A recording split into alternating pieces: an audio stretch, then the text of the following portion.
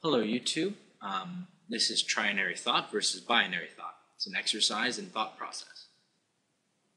Uh, before I begin, I want to give all credit to my friend, and I'll link to him and a few videos of his that I think that if you're interested in this, you might want to see. Binary statements are restricted to either a positive or negative thought process and can only be true or false. They only allow dichromatic thinking and they stagnate. They run into a wall when there's a rational paradox or when a statement cancels itself out. Trinary um, statements can incite positive and negative or non response. Statements can be true, false, or meaningless. Basically, non statements. You just throw them away. You don't have to worry about them if they cancel each other they cancel themselves out. It allows a free degree of association with thoughts, flexibility of language, and dismissal towards non thoughts and non evidence and non arguments. Positive, negative, and neutral. You either love God or you hate God. You're either good or you're evil. You're either happy with me or you're upset with me. All right. I'm sure you've heard um, one or all of those. Uh, first two, either from parents or I don't know, somebody who had an argument with um, about morality or religion.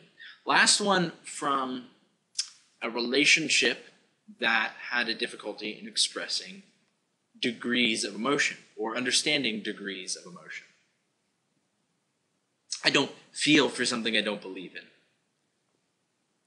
I'm simply alive. I don't believe in your morality. I'm neutral towards you. Nothing is wrong or right. Um, and it's, I mean, I think these are pretty self-explanatory. They are the neutral statements. They are the, they're the statements that say, listen, what you say doesn't really mean anything to me. It's chill out, you know? I'm all right. You're all right. Relax about it. This is a non-belief I have. There's no point in putting positing negative or positive.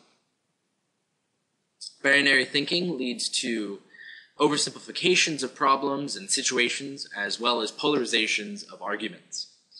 Religion, learning to debate in extremes only, emotional polarization, and other factors contribute to this way of reasoning and are also caused by it.